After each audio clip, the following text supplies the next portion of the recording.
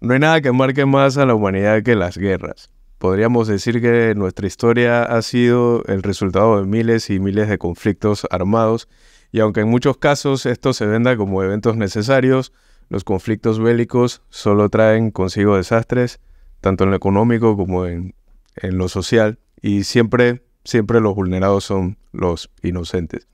Hajime Sayama plasma en su obra la crudeza y lo injusto de la guerra vista desde ambos bandos. Un mundo movido por los conflictos territoriales y raciales. Este universo, ficticio solo por la existencia de los titanes, es un reflejo real de nuestro mundo. En Shingeki no Kyojin no existen los buenos, solo hay víctimas de extremos enfrentados. El hombre está condenado a ser libre, es una frase del filósofo francés Jean-Paul Sartre, uno de los máximos exponentes del existencialismo. Una afirmación contradictoria en su retórica, pero extrapolándola a los deseos de Eren Jaeger, nuestro protagonista, se puede entender mejor la búsqueda de la libertad y la condena, incluso esclavitud, eh, que carga al saber lo que tenía que hacer para que sus amigos vivieran en libertad. A palabras de Eren, eh, desde el momento en que nacemos somos libres. Da igual los fuertes que sean aquellos que se niegan a esa libertad. Lucha. De buena gana daría mi vida por algo así. Da igual lo terrorífico que sea el mundo, lucha. Da igual lo cruel que sea el mundo, lucha. Tatakae, tatakae, tatakae. Bienvenidos y bienvenidas a Mansa Cinta. Hoy vamos a estar hablando, como pudieron darse cuenta, de Shingeki no Kyojin. Normalmente conversamos de, de películas, pero este cierre de dos partes han sido, la verdad que dos, dos películas, ¿no? Por cuatro temporadas y por diez años, Hayumi Sayama nos mantuvo al filo de la, de la silla con, con, esta historia bastante, diría yo, bastante real y, y, brutal. Y hoy tenemos, pues, como invitados a Andrea Caballero, eh, fanática de, de Shingeki no Kyojin. Y tenemos a Richard Morales y algunos se preguntarán qué hace Richard aquí, si político y tal. Pero es que Richard también es fanático del, del anime, un otaku consagrado, podríamos decirlo. Y también vamos a estar conversando con él, dirá sus puntos de vista eh, con respecto a la obra, ¿no? Está Tommy como siempre, quien siempre está ayudándonos con las cámaras y las luces y tal. Y yo pues sirviendo como de presentador, ¿no? ¿Cómo están chicos, chicas? ¿Cómo, cómo han estado? ¿Qué les ha parecido esta obra? y tal, vamos a empezar contigo, Andrea, que te tengo aquí al lado. Eh, bueno, hola. la verdad nunca sé cómo introducirme a mí misma, pero vamos al grano. Eh, la verdad, la obra me ha gustado bastante. Es una obra que vengo siguiendo desde literalmente cuando salió. O sea, vi el primer capítulo en abril del 2013. Y a lo largo de los años ha sido una obra que para mí ha desarrollado una serie de emociones, una serie de, de situaciones que han ido cambiando y que han ido evolucionando y creciendo conmigo misma. So, espero que las opiniones que veamos les gusten y si no, igual está para debatir. Richard, bienvenido. gracias y oh, sin duda había mucha expectativa con el final, el, el desenlace de, de la historia y el esfuerzo de, mantenerse uno sin, sin, sin, ver los spoilers, ¿no? Eh, en, mi caso en particular, y logré el cometido. Y claro, combinar creo que lo, lo mejor de la serie, ¿no? Que es estas escenas de, de acción muy dramática, eh, sumamente envolvente, que puede hasta uno distraerlo del hecho de que aquí se están manejando eh, muchos, muchos dramas, muchos conflictos muy propios de la humanidad, ¿no? Toby. Eh, bueno, yo sí tuve la desfortuna de que a mí se me spoilearon dos cosas importantes que pasan en la serie, que ya las diré en su momento. Pero a pesar de eso fue una serie que realmente disfruté muchísimo. Recuerdo cuando la vi por primera vez, yo sí no la agarré desde cuando comenzó a salir en su inicio, sino que la agarré años después. Y lo agradezco porque en realidad no tuve que aguantarme a esperar a que saliera todas las partes para finalmente decir, bueno, ya terminé, sino que la pude ver seguida salvo por las últimas partes que fueron la 3.1 y 2. Pero bueno, eh, sí tengo recuerdos de que es una serie que me mantuvo, como tú bien dices, al borde de la silla. Y porque en todo momento es una serie que no para de, de haber tensión. O sea, no hay descanso en ningún momento, salvo que algunos contados. Y aún así, hay momentos tensos que tú sabes que están ocurriendo de por medio. Pero bueno, una serie que definitivamente queda para la historia. A mí me marcó muchísimo y hablaremos a profundidad de ella.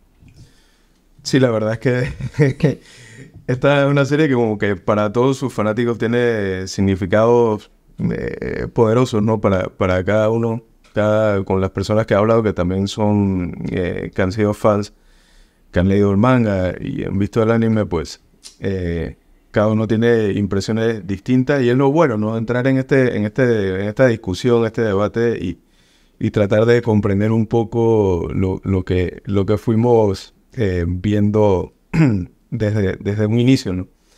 Eh, quería eh, que viéramos de repente un poquito, centrándonos más que nada en la, en la realidad que vivimos, ¿no? Porque esta es una obra muy, muy real, em, que utiliza cosas de, la historia de, la humanidad, sobre todo de, los conflictos, de las guerras. Em, y también dentro eh, en lo político, ¿no? Eh, y ahí voy a, voy a, empezar contigo, Richard. Esto, cuando ves lo que ocurre, eh, cuando ya van, se van descubriendo los secretos, ¿no? De, de, de, de, hay detrás de la existencia, de por qué existen los titanes y tal. Y ves esta, este tema de que hay como un... Podríamos compararlo un poco con la, con la Alemania nazi, ¿no? De la Segunda Guerra Mundial. Eh, ¿cómo, ¿cómo, ves, cómo lo maneja Isayama? ¿Qué, no, qué nos transmite con, con, esta, con, esta, con esta situación, ¿no? donde nos mete en, en, su historia? ¿no? Sí, ahí es donde uno, uno ve, creo que son como las, las dos formas de abordar la, la obra, ¿no? Me parece, eh, la serie. Eh, que por un lado uno lo puede ver a través de los ojos de, eh, Eren, de Mikasa, de Armin, y verlo como, bueno, estos niños que han terminado siendo soldados, ¿no? Para todos los efectos y casi que obligados un poco por las circunstancias, ¿no? Vives bajo el constante asedio, vives tras murallas y estás bajo una amenaza permanente, ¿no? Y desde la perspectiva de ellos hay eh, como esta búsqueda de esta búsqueda de libertad, creo que lo que los anima, quiero ser libre, quiero ir más allá de las murallas, quiero eh, conocer, eh, pero un poco lo que hablabas de la, Alemania nazi se ve en el hecho de, bueno, que termina viendo una especie de sociedad militarizada, ¿no? Una sociedad militarizada, tanto Paradis como Marley, y ellos terminan asimilando esos esos valores, ¿no? Este, esta idea de, de, somos una sociedad bajo ataque y nuestros enemigos tenemos que acabarlos, ¿no? Que al inicio de la serie no te genera mayor problema porque los enemigos son estos titanes, ¿no? Y tú dices, bueno, no son seres humanos, aunque, aunque ya uno empieza a ver los rasgos y tú dices, bueno, estos parecen personas, ¿no? Acá hay como algo, ¿no? Uno medio sospecha por dónde puede venir la cosa porque claramente parece gente, ¿no? Pero bueno, no te, no te lo dicen enteramente, ¿no? Eh, yo creo que ahí sí hay este... Por, lo menos eso, ese es un elemento que nunca se va, me parece, ¿no? El hecho de que estas son sociedades eh, militarizadas porque no, no escapan al conflicto, ¿no? Y ni ellos con... Pues claro, te, la serie creo que es un poco lo que decía Tomás, esto de la tensión, ¿no? Te coquetea por un momento con esto de los muchachos inocentes viviendo felices, pero tú como que sabes que viene algo y te va a destruir todo eso. La amenaza está ahí, la amenaza está ahí, está no solo del otro lado del muro, sino más allá ¿no? del muro. La, y lo que les espera cuando pasan hacia, que, cruzan el, mar y tal, que les reciben es, una guerra, ¿no? Es una guerra. Lo que ves cuando empiezas a ver el arco de, de Marley es que es un mundo que vive en guerra. O sea, no solo se pelean con, con, con los indianos, de hecho los que, los que viven en Marley son usados como carne, carne de cañón, ¿no? Eh, y, o sea, es, un mundo, es un mundo eh, en guerra. Y como bien dices, son niños que, que, aprenden básicamente a matar desde, muy temprano, no solo, no solo en Paradis, sino también allá en Marley, ¿no? En Marley. Eh, hablábamos contigo, Andrea, hace un rato, antes de, empezar, un poco de, también de lo, de lo político y de cómo podríamos extrapolar esta historia con, con, lo que podemos vivir en nuestra, en nuestra sociedad actual, ¿no? Tú nos comentabas algo, si te acuerdas de qué, era eso. Ok, bueno, en realidad sí me acuerdo de varios aspectos. El primero, la forma en cómo tú mantienes a una sociedad que vive en un conflicto bélico constante. Al inicio de la, del anime, o sea, vemos, por ejemplo, que ellos estaban destinados, o sea, toda la sociedad en Paradis solamente estaba destinada como a la supervivencia y para ellos la guerra era solamente con titanes, ¿no? Entonces eh, vemos que para mantener a la sociedad en regla, en ese, en ese mismo status quo, quienes sabían la verdad utilizaban elementos como la propaganda, la religión, eh, la división de clases para definir cada rol que tenían las personas, por lo cual el sentimiento de libertad no era solamente porque estaban encerrados en una muralla, pero el sentimiento de que no tenían libertad, sino simplemente era porque desde que nacían hasta que morían tenían un rol para cumplir dentro de la guerra con los titanes. A medida que van avanzando, que van en el anime y van descubriendo que, por ejemplo, los titanes son humanos, que la guerra, que existe un mundo que los mira, que mira a Paradis con odio y con desidia y que ese mundo está en guerra con ellos y que de hecho entre ellos, ese mundo afuera de, esas, de las murallas también está en guerra y que la situación eh, es, no varía. Para, una, para un, por ejemplo, un niño que creció en un ambiente de siempre tengo que sobrevivir, siempre tengo que estar en guerra, eh, vemos situaciones que igual utilizan, bueno, de nuevo, propaganda, utilizan mecanismos de defensa ultra violentos y eso lo podemos trasladar con eh, situaciones como, por ejemplo, el conflicto que existe ahorita mismo con Palestina e Israel, que es un ejemplo, son un pueblo que ha sido oprimido, que, ha sido, que está siendo oprimido por un pueblo que de hecho fue oprimido en el pasado también, o sea, una relación de opresor o oprimido como tal, que cambia a lo largo de la historia según quien tenga el poder y el balance.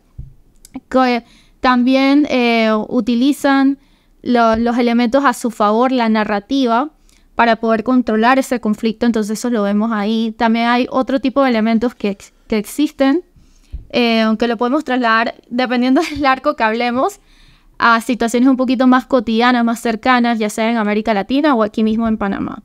Entonces, por ejemplo, la forma en cómo mantienen, eh, quienes dominan realmente en Paradis, quienes dominan realmente en Marley, que a veces ni siquiera son, por ejemplo, las personas que nosotros eh, tenemos cerca, sino personas que hay atrás quienes ejercen esos, esos realmente eh, eh, factores de poder como tal. Por ejemplo, aquí en Panamá siempre hablamos de un tema de que no es realmente el ejecutivo, el judicial, el legislativo quienes gobiernan, sino son entidades cuyos intereses eh, los, los vierten hacia estas instituciones para mantener el rol y un mecanismo de poder en Panamá. O que mantengan, por ejemplo, ciertas facciones que deberían haberse desintegrado para poder realmente ver un, cambio social y que nunca pasa. Como por ejemplo los yagueristas. Por eso lo voy a abordar un poquito más adelante esa relación. Sí, hay que, hay que, de hecho aquí en, nuestro país hay, eh, evidentemente en la, situación que, estamos viviendo, la crisis, esto se hace evidente que, que hace mucho tiempo se, necesitamos que se hicieran cambios sobre todo constitucionales, ¿no? Eso no sí. tenemos más de 30 años de, de, una supuesta democracia, eh, pero con una mm, constitución eh, hecha en, en, medio de una dictadura, ¿no? Evidentemente los cambios que, que, uno, que uno pide no, no se pueden hacer si las la reglas están, están eh, bajo este, este esquema militar. ¿no? Tommy, esto, vamos a entrar un poquito a hablar de, del prota. Vamos a hablar un poco de, de Eren, ¿no? No es el típico eh, héroe de, un chonen, ¿no? Es, diría yo, un, un antihéroe. No, definitivamente. Este, a ver, comienza como un héroe, ¿no? Y claramente pasa a ser un antihéroe, que además no es el típico antihéroe de, bueno, un tipo que, que tiene estos esquemas grises, que en su momento lo pudo haber tenido, sino que pasa a ser este tipo que comete un genocidio, pero masivo. O sea, el man extermina al 80% de la población. Y aquí estábamos conversando antes del podcast de que realmente hay opiniones muy divididas sobre el final y sobre la posición que tomó Eren, sobre todo lo sucedido. Y ahí podemos entrar en un dilema o en una, un debate sobre el tema ético, de, de la moral y demás. Pero sí quería hablar un poquito de Eren desde otras perspectivas antes de que se convirtiera en este antihéroe. Y es que Shingeki es al final un shonen, ¿no? Bueno, un shonen que es casi seinen, como en ese entremedio, por ser un, un shonen más oscuro, perdón.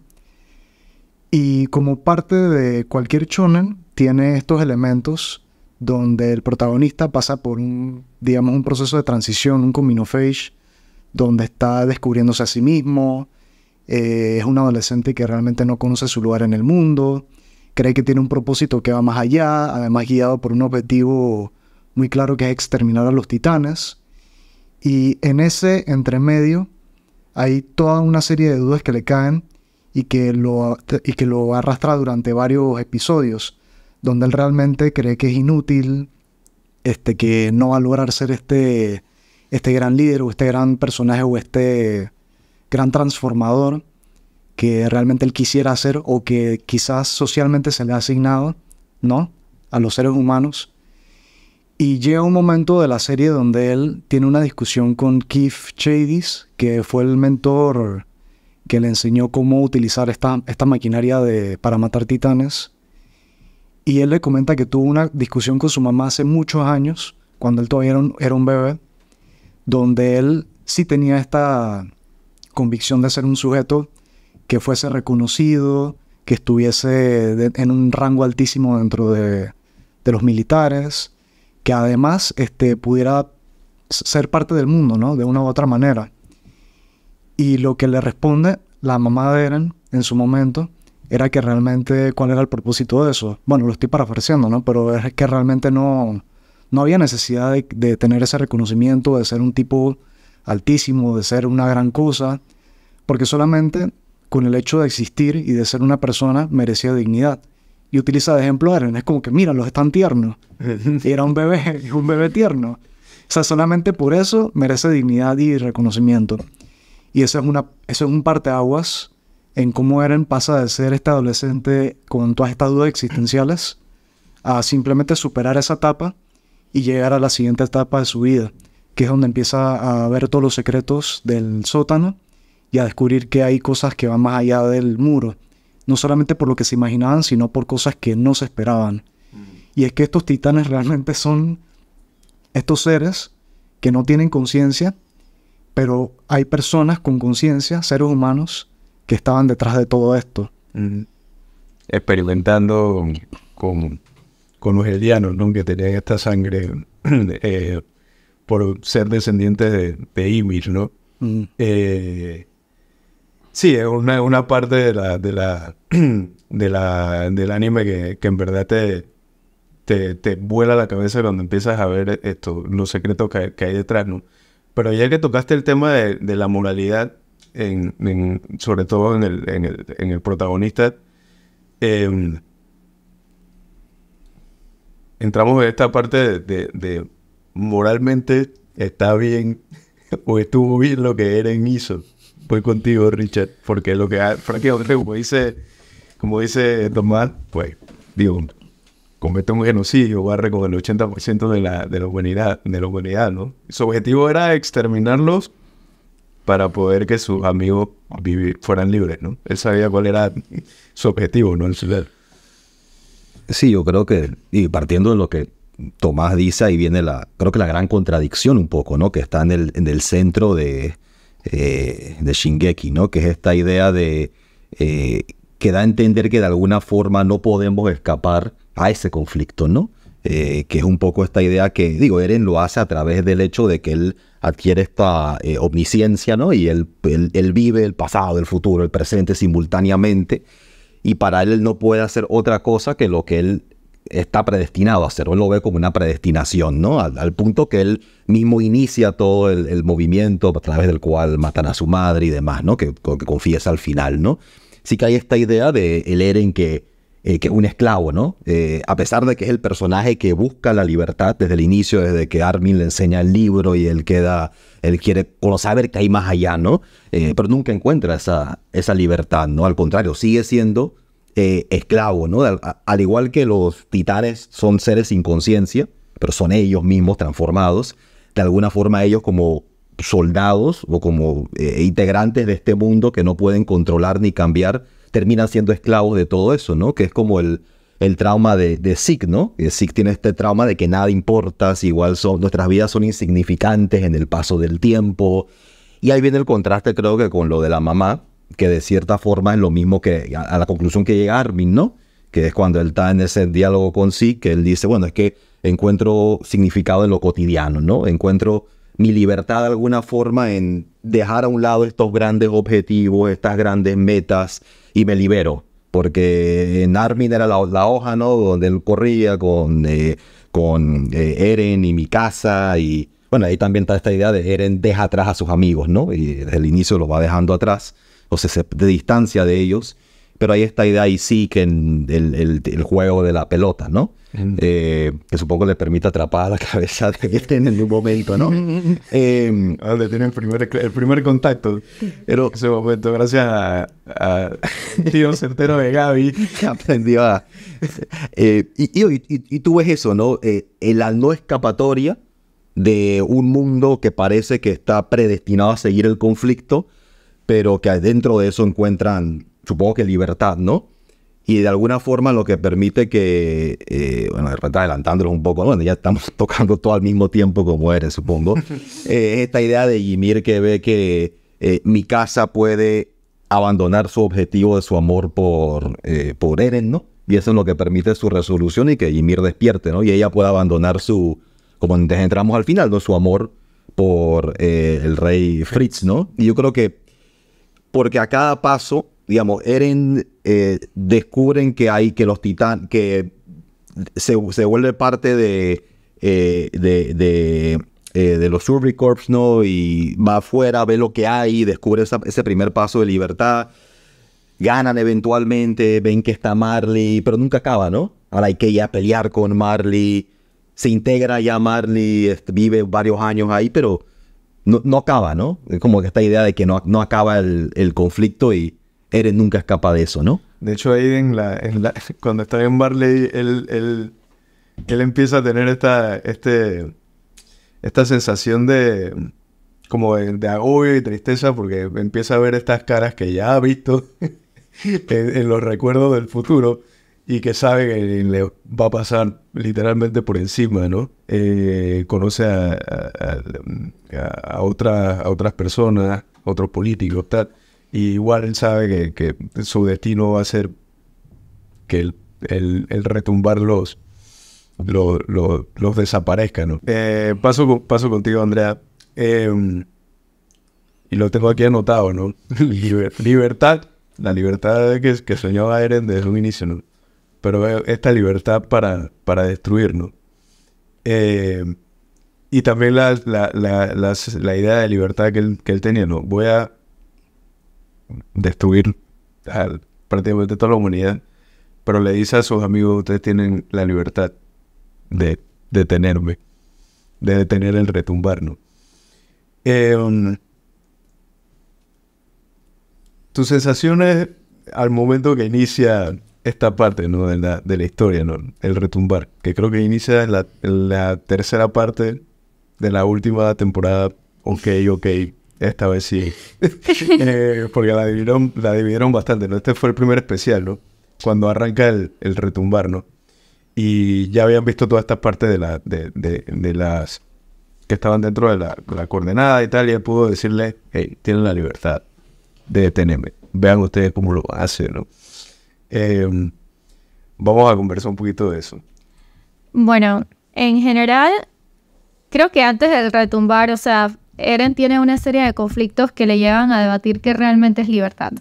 O sea, la libertad de él no es solamente por, ah, bueno, tengo el poder para hacer ciertas cosas, sino más bien al ver que ya, había, ya habían ciertas cosas que él había tenido como el spoiler al alzar la mano de historia y al como dice muy bien a conocer otro, eh, la gente Marley y todo lo demás, él confirma de que muchas de sus acciones realmente no eran libres. De hecho, se dice mucho en el fandom que Eren es el personaje menos libre en toda la historia de Shingeki. O sea, del niño que pelea por la libertad es el menos libre. Después de ahí sigue, creo que Ymir.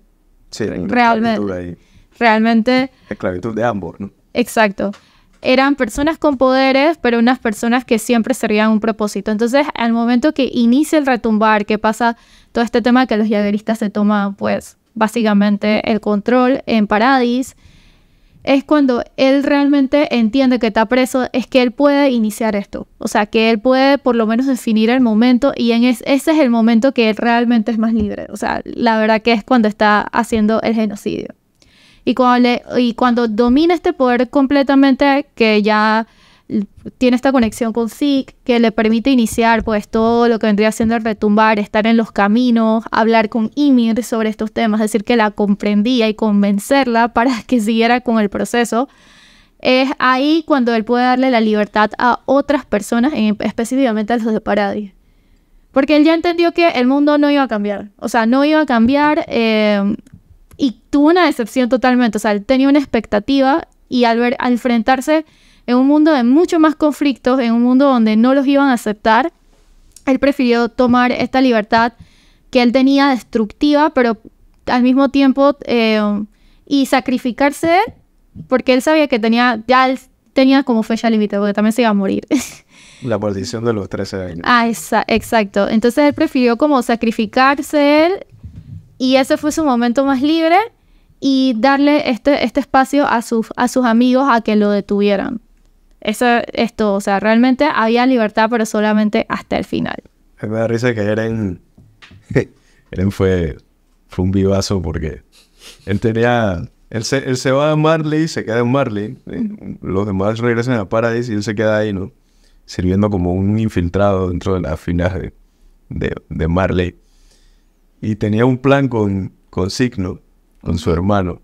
Eh, y sí, siempre confió de que, de que el plan de la, de la eugenesia eh, era lo que iban a hacer, ¿no? que, que ya los eldianos no pudieran reproducirse y de esta forma terminar con la em, con el tema de, la, de, de, los portadores de titanes, tal, ¿no? Em, que no era una idea mala, no iba a matar a nadie, simplemente no se iban a poder reproducir. Claro. Eh, me parece que era una idea bastante lejos, de, del, lejos del exterminio, pero vamos, que sinceramente esa fue, digo, lo, lo cuentió bastante, ¿no? lo mareó bastante. Al momento que se da cuenta eh, esto, cuando están dentro de los caminos, se da cuenta que no, no, hay, forma de, detenerlo y que, y que la cosa va a ser. O sea, porque él simplemente iba, era como una amenaza, ¿no? Como quien pone unos misiles cerca de tu isla de que, mira, tengo esta, esto aquí, esta amenaza nuclear, aquí está. Eh, él solamente iba a sacar como, ¿qué? 10% de, lo, de, lo, de, los, de los titanes colosales. Así como que, mire, no se metan con nosotros, ya esto va a quedar aquí, tal y ya nosotros no, ya no vamos a poder reproducirnos. Y, eso iba a acabar ahí, pero luego vino, eh, vino el, el, retumbar y barrió con todo, ¿no? Quería ya como parte final que habláramos un poco del, del epílogo. Eh, voy a empezar contigo, Tommy. Esto, los créditos finales y, y lo que ocurre, ¿no? Ya después de que vimos este beso apasionado entre mi casa y la cabeza de... Eh, luego, vamos, ¿no? Esto, ella lo lleva al árbol donde siempre estaba cuando, cuando eran niños.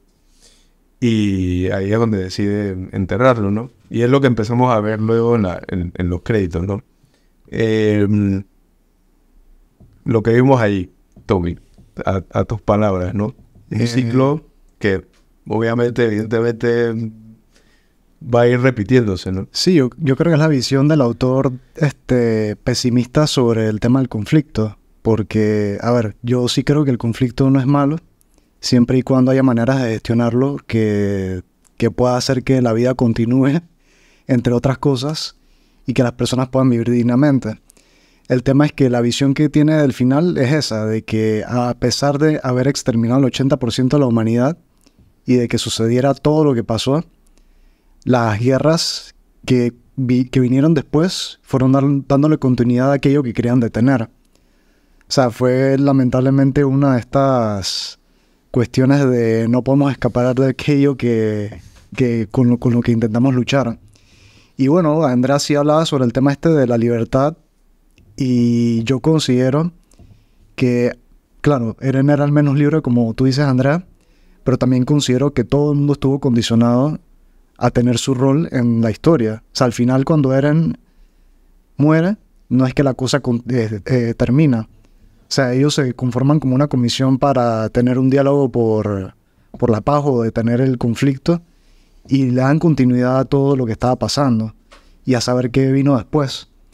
Pero es esa cuestión de que realmente yo sí creo, incluso en la vida real, de que no existe una tal cosa como la libertad absoluta, sino que existen instancias de libertad, donde uno por momentos, así como eran con sus compañeros cuando estaban en Marley, que se tomaron esta noche de, de tragos y, demás cosas, o sea, es una instancia de libertad, pero de todas maneras te ves condicionado por tu contexto y, y las circunstancias que, que te vieron. Y bueno, sobre el final en sí, esta visión pesimista sobre los conflictos bélicos que continúan y continúan y continúan hasta el punto en que se extermina la humanidad, es al final la visión del autor, que podemos coincidir o no. Y no solamente es el tema de la continuidad de los conflictos bélicos, sino que es como todo se repite desde cero, a partir de que esta, este personaje, que no le vemos el rostro, llega al árbol y encuentra este hueco donde entra y ya sabemos lo que pasa después de ahí. Prácticamente lo que hizo Ymir, que encontró un hueco y ahí comenzó todo. Sí. Richard, tus impresiones de, de, este final de, de la obra. Sí, coincido que tiene que ver con la visión pesimista del autor respecto a la condición humana, un poco atribuirle esa agresividad o esa búsqueda al conflicto algo inherente al ser humano y no propiamente a la forma como organizamos nuestras eh, sociedades, ¿no? Porque uno pudiera decir que sí es posible ponerle un fin o amortiguar el, conflicto, ¿no? Pero él, apunta un poco a la inevitabilidad de ello, ¿no?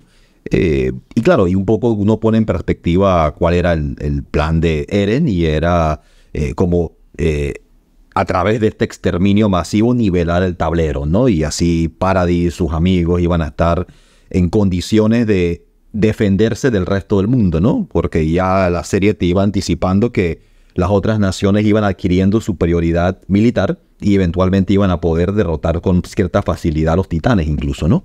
Eh, así que hay esta idea de que eh, yo tengo que, esta idea de guerra preventiva incluso, ¿no? Que la, vimos con, la guerra de Irak sobre todo, ¿no? Yo tengo que destruir a mi enemigo antes que me ataque a mí. Y, trae, y regresando a un tema que, que trajo con la ciudad Andrea, ¿no? El del conflicto en, en Palestina y esta idea que hay en el sionismo, ¿no? De que yo tengo que, de esta limpieza étnica, eh, mi enemigo es todo el pueblo, ¿no? No es solamente los combatientes, es todo el pueblo, porque todo el, todo el mundo del pueblo es un enemigo potencial, ¿no? Y creo que eso es algo lo que hace, es particular del personaje de Eren, que cuando él va a Marley, no se da lo que uno de repente pudiera esperar, ¿no? Que es que al vivir entre los marlianos, de repente le iba a tener una especie de despertar o toma de conciencia, ellos son como yo yo quiero empatizar con ellos, tengo que dejar esta búsqueda, ¿no? Hay la idea de que esto es eh, atacar, ¿no? Efectivamente, tengo que atacarlos, tengo que acabarlos, ellos nos van a acabar a nosotros. Y eh, me recuerda incluso esto que mencionabas de que el héroe es una especie de villano, a uno de mis villanos favoritos es de el de Rurouni Kenshin, ¿no? Que es Shishio, ¿no? Y, y, y Eren te recuerda un poco a Shishio porque está asumiendo un poco esta ideología, ¿no? Eh, pero nadie en verdad es Kenshin Aquino, nadie es el, héroe realmente. Lo más cercano supongo que es Armin, pero no tanto. Eh, así que sí, el autor nos, da como esta visión un poco, eh, creo, pesimista. Y lo podemos ver aquí en Panamá también, yo creo, ¿no? esta, esta, esta noción de, regresando a lo que dijo Andrea también al inicio, de la propaganda, ¿no? Porque a fin de cuentas nunca logran escapar de esta visión que deshumaniza al otro como un enemigo, ¿no? Eh, y lo vemos aquí, lo vimos aquí en Panamá con las protestas donde hay gente que hacía apología, ¿no? Apología de eh, los dos docentes que fueron asesinados, bajo esta idea de porque estás protestando y porque se me ha dicho a través de la propaganda que el que protesta es malo, yo estoy de acuerdo con que te, te maten, ¿no? Porque estoy matándote antes que tú me mates a mí, ¿no? Se, genera esta, esta, esta idea de la que eh, nunca escapan verdaderamente, ¿no? Sí, yo supongo que aquí hay una tónica distópica y si todo esto se va a repetir nuevamente es casi que inevitable.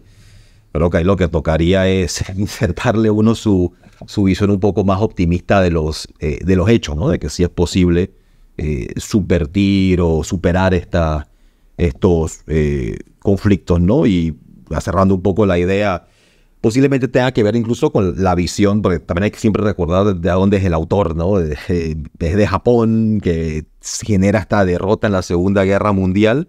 Y hay sectores de Japón donde todavía hay la nostalgia, ¿no? Del Japón imperial. Eh, y, creo que cuando yo empecé a ver Shingeki tenía esta idea de, bueno, eh, Paradise es Japón, es el Japón amenazado. Mm. Eh, y ahí, hay esta nostalgia, ¿no? De, el regreso a la gloria, ¿no? Porque hay esta idea de los eldianos que perdieron su gloria. Em, pero bueno, ahí uno ve las varias ideas que, que, que, sí, en, pocos minutos el final te dice, te dice mucho. Sí, es que es una, es una historia que, que te va haciendo recordar otras cosas y, que definitivamente te puede hacer eh, conversar esto horas y horas, ¿no? Lastimosamente no tenemos ni la batería, ni la, ni la memoria para poder seguir hablando y, vamos a ir, cortando un poco rápido, ¿no? Pero eh, hemos conversado bastantito al respecto. Tus impresiones, Andrea, de, este, de este epílogo final de, la obra. Bueno, yo creo que hay mucha gente que piensa que el epílogo fue para nada. que, el epílogo te demuestra que, la, que fue para nada. Sin embargo, em, yo creo que el epílogo es lo más humano que existe. Porque los conflictos persisten o los conflictos se crean. No podemos asumir específicamente, salvo una cosa del final, que el conflicto haya sido originado precisamente por, por el tema de Eren, por el tema de los titanes, eso no lo podemos asumir. Lo que sí podemos asumir es que si los conflictos persisten, ciertas formas, eh, principalmente de gobierno, van a persistir o ciertas cosas van a perdurar en el tiempo si no hay una buena memoria histórica o depende de cómo tú cuentes los hechos. Por ejemplo, los yagueristas, vuelvo y voy a concluir eso, mi punto. Los yagueristas es una facción que debe haberse desintegrado.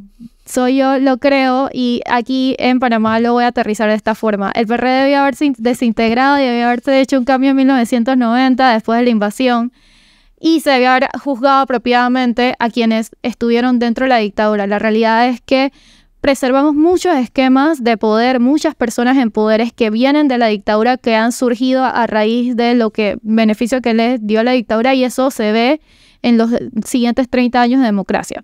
Entonces siempre recurrimos como a este tema de que si se hubiera desintegrado probablemente, no sabemos, esto es hipotético. En caso de Shingeki esto permaneció y mucha gente con dolor que vivía esa época los va a seguir viendo, por lo menos a los yagueristas, ¿no?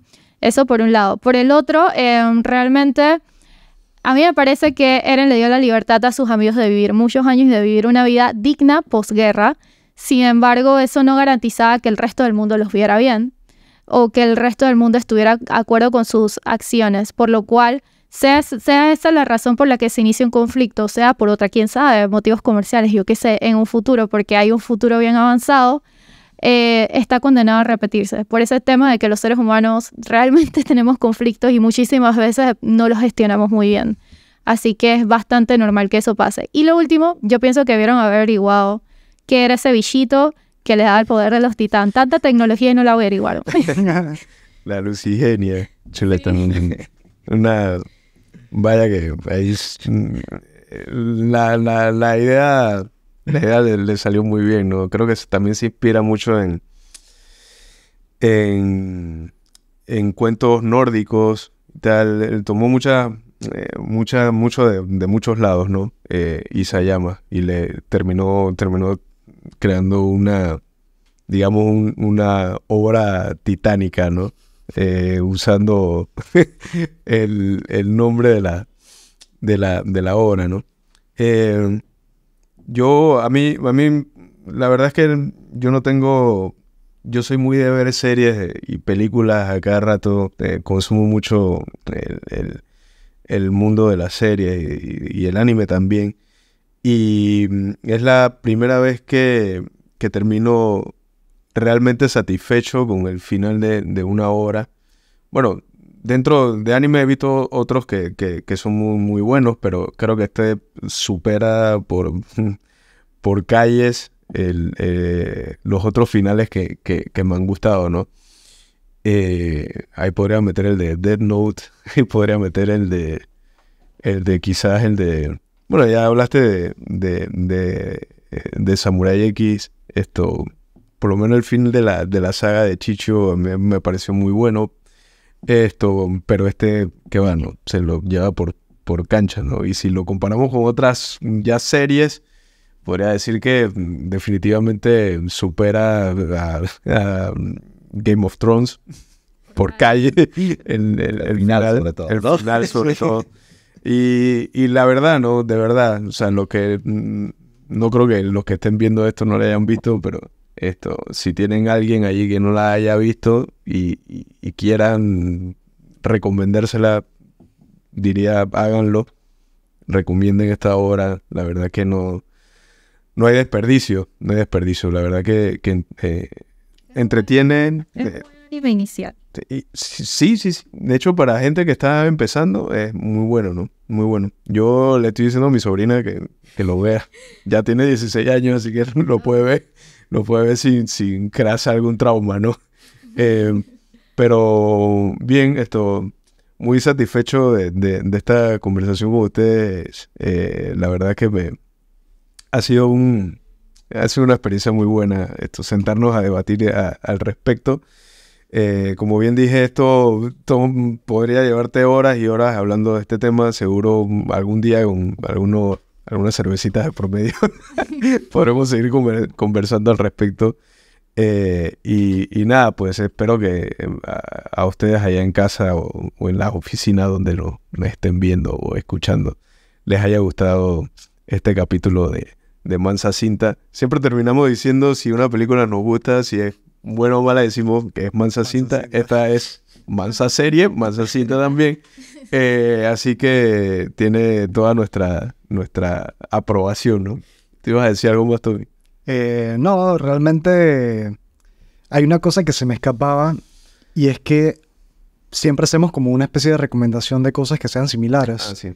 Eh, yo no diría que esto es similar, pero desde el punto de vista del tema del conflicto, The Last of Us, tanto como, bueno, la serie, la serie y el videojuego tienen la misma historia. Mm. Eh, si no me equivoco, el creador lo hizo pensando en el conflicto de Israel-Palestina, porque él es, israelí o sus padres son israelíes, pero lo ves desde un punto de vista de cómo el conflicto, en un sentido cíclico, este no lleva a nada. Y yo creo que Shingeki va por ese camino, ¿no? De que el tema del conflicto cíclico, a pesar de que en un momento había una, una simetría en cuanto al poder que tenía tanto los marlenienses como, mm. como los de Paradis. Mm. Sí. Yo, ahí como en esa línea de series, creo que subvierten expectativas de lo que crees que va a pasar, pero que trata con la guerra, que trata con eh, niños soldados. Se me ocurre eh, Gundam Blood Orphans, ¿no? Que es mm. esta serie de Gundam donde los protagonistas son niños, son soldados pero la serie no aborda directamente, ¿no? Y, el fin, y no hay un final feliz, ¿no? Un poco parecido a esto, el final no es feliz, un poco diciendo la guerra no va a terminar con los héroes celebrando, todos alegres, ¿no? Esto es un conflicto y este es el lado duro de la humanidad, ¿no? Sí, Gondam, Gondam tiene eso, ¿no? Que siempre te va... es puro conflicto, pura guerra de principio a fin. Bueno, de mi lado está un anime más nuevo que es 86, que si lo pueden aterrizar en un conflicto eh, étnico, en un conflicto racial, está muy bueno. Eh, la novela es un poco... El, anime tiene una temporada, pero... Eh, y es un... La novela tiene un poquito más y ahonda un poco más. Me gusta la parte que, spoiler, te hace... Te, hace un poquito dudar si el pelear por una patria es necesario o qué es la definición de, de, pueblo y también habla mucho de los niños en guerra y esta apología de por qué mandó niña en guerra a pelear y cómo en los, por ejemplo, los genocidios o los conflictos étnicos al final solamente dejan probablemente niños peleando por conflictos muy, muy, muy atrás. Entonces está súper cool. Véanlo o lean la novela visual, que está también interesante. Y yo desde acá les recomiendo que vuelvan a verse. y como voy a hacer yo dentro de poco, porque la verdad es que vale la pena verla, verla y, y, verla, ¿no? Eh, sin más que agregar, eh, nos despedimos, dejamos esto hasta aquí y bueno, eh, como diría el, el, comandante Levi Ackerman, Shinzo Sosagi. en la próxima. Chao.